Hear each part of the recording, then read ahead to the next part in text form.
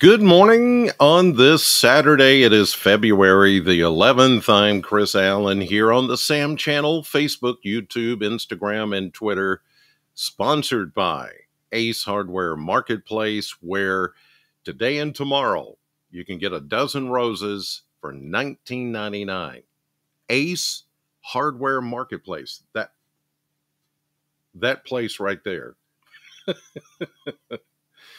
yeah, it's a hardware store. As I mentioned yesterday, yes, it is for real.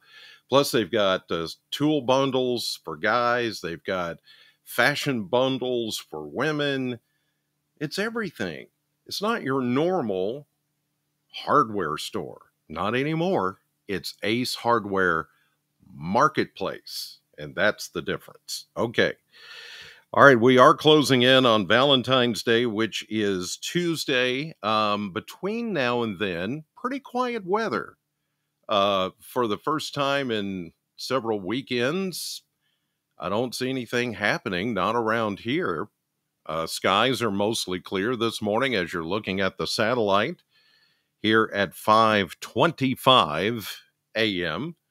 Central Time. Now, there's some activity once you go into the higher elevations of far eastern Kentucky, the Virginias, eastern Tennessee. There's some winter weather advisories and some freezing fog and stuff like that going on. Uh, moisture associated with a weak system, upper weak system moving through that area, setting some of that off. But for us, it's just a little bit of even patchy fog this morning. Now, up around the Ohio River, there could be some freezing fog just because temperatures are right close to freezing. It's uh, 33 right now. Uh, but uh, other than that, uh, we're not looking at much going on today. It's going to be a pretty quiet day.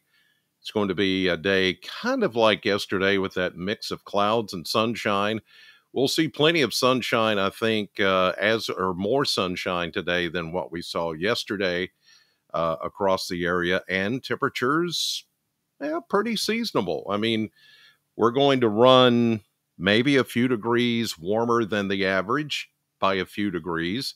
Now, the average high is at 50.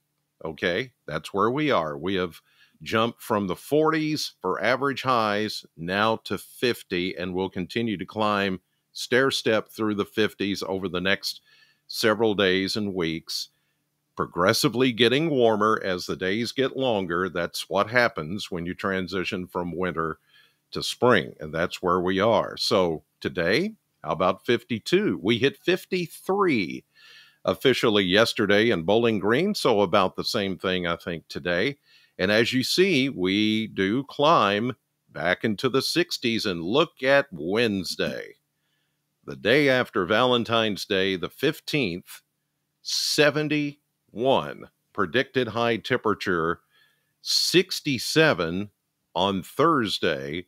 Then look what happens on Friday. Boom. The bottom falls out. So we go from around 70 degree weather to 40 degree weather. That's a 30 degree drop. And then overnights, we go from near 60 to the 20s. That's almost a 40 degree drop in temperature. And you know, it can happen any place, anytime. When you see a drop like that here in the middle of February, that's not a good sign. That's kind of a red flag, as we're used to around here, that something nefarious may be going on, and it's a possibility. It's not a guarantee that we're going to get severe weather, but this is certainly when you see this kind of pattern setting up in the middle of February, it's kind of a red flag. Hey, look, look at this, look at this, look what's happening. That big temperature change, that's a dynamic. Winds are a dynamic. How much moisture is coming in is a dynamic. So we got plenty to look at here uh, on Thursday into Friday. And so that's going to be a, a key time to be weather aware. Okay. Remember what I always said for years know the weather before it knows you. And that still holds true today. So you're knowing it. Now we'll see what happens. Again, not a guarantee. I'm not saying there's going to be severe weather, but just looking at this alone tells me that something's up. We'll just have to let this bake for a few days and see what happens. After that, we cool down a bit, but then we moderate right back into the 60s at the beginning of next week. So you can see we climb up, fall down, then climb up once again, and we'll probably fall back down after that one.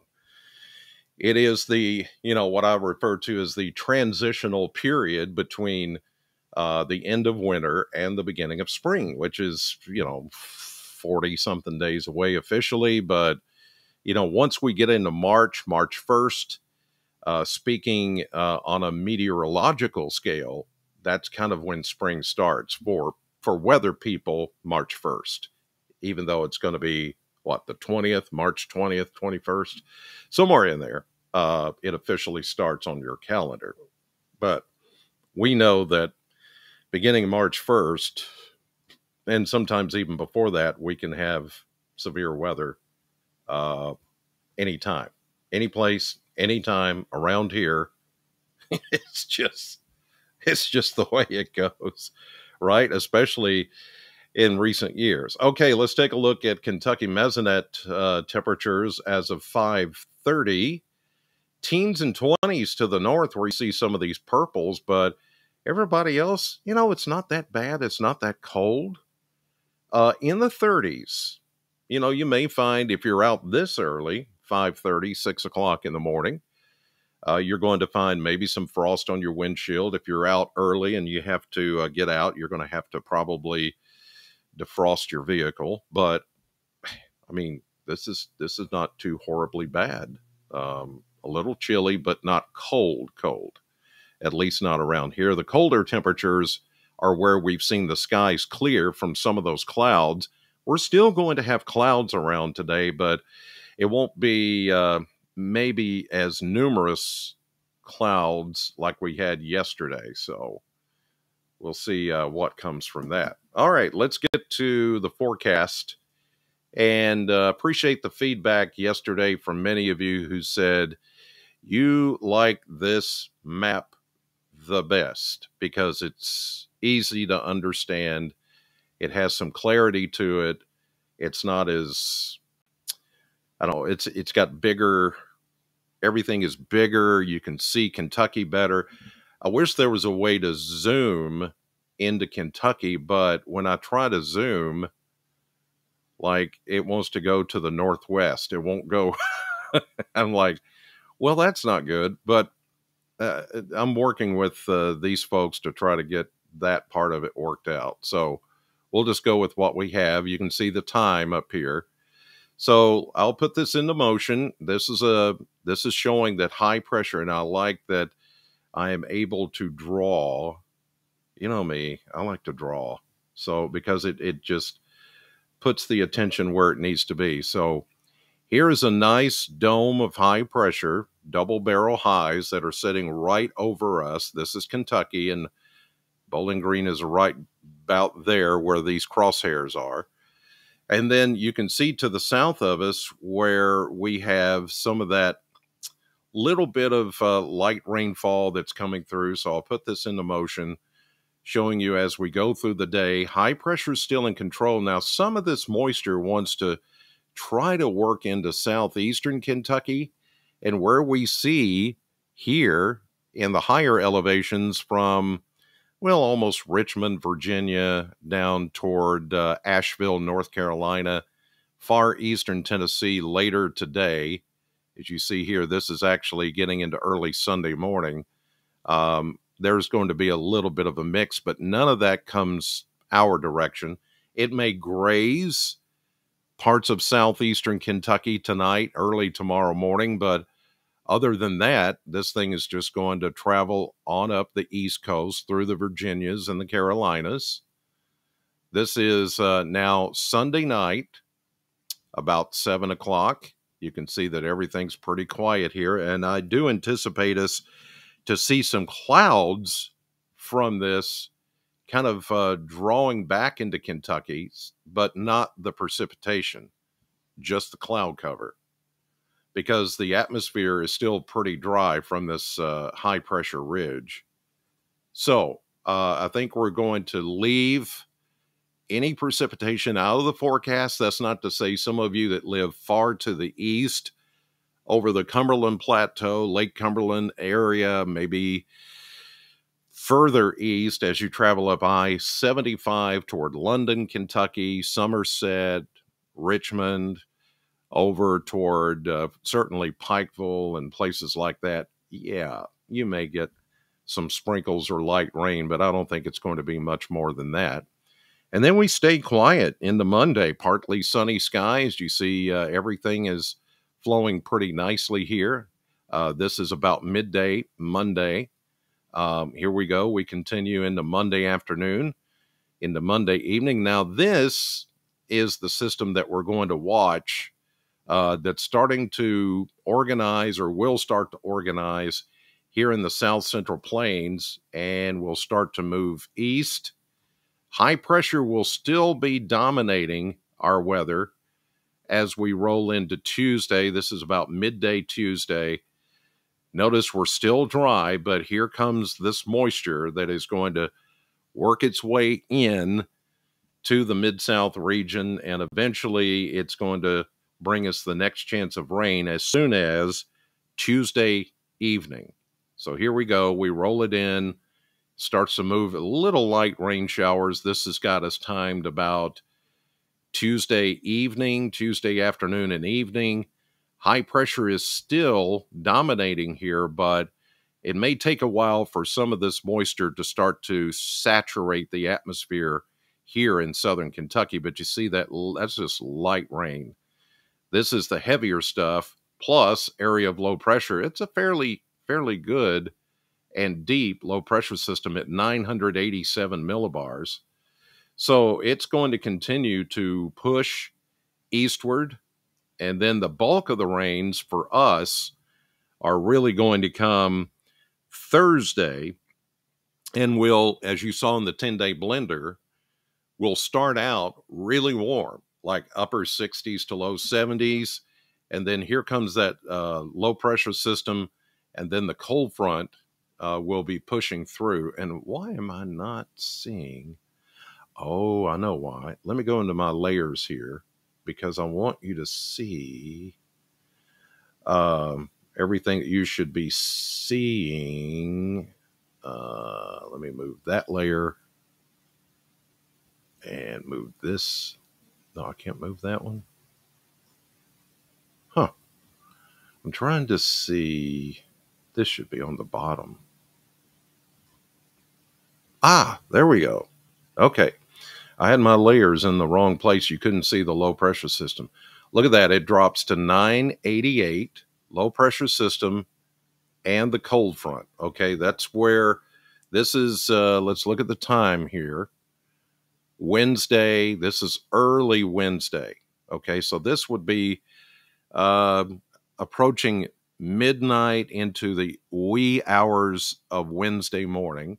Cold front just to the west of us. Let me uh, put this back into motion here.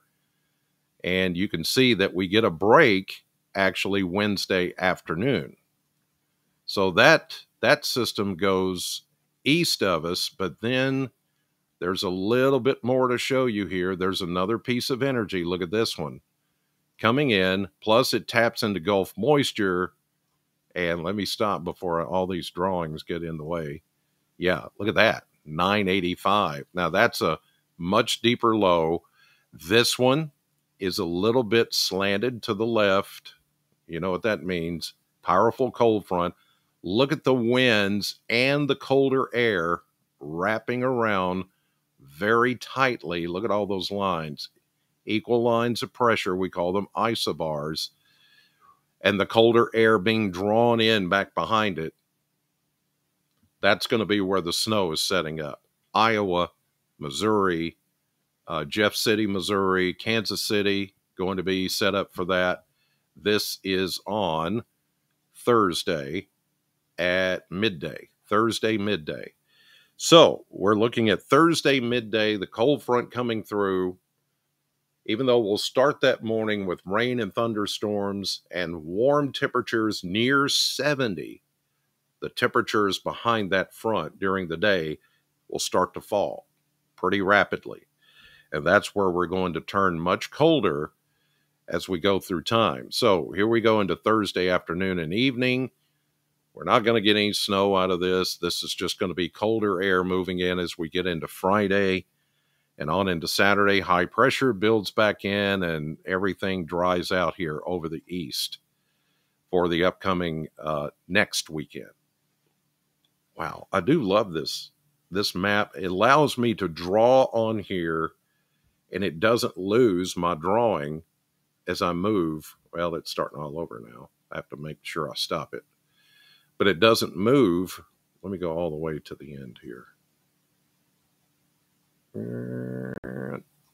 That's Sunday night. So look at that. And we won't see anything else until maybe next Monday after that. So it looks like we're going to end up with the possibility of two weeks, two weekends in a row without rain or snow or anything very significant. That's uh, that's pretty good, actually. Actually, uh, that's not too bad. Now it's, you know, the the temperatures are really just seasonable or seasonal for this time of the year. 50, as I mentioned, is where we should be. And that's where we're going to end up today, maybe low 50s.